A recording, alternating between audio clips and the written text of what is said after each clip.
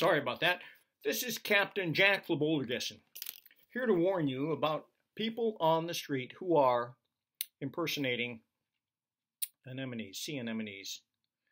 Uh, you can distinguish these people from ordinary people because they wear a false mustache, which is perfectly obviously a phony, and they have a sea anemone attached somewhere on their body, usually to their face. so they're pretty easy to spot. And when they approach you asking you for fish, don't say anything.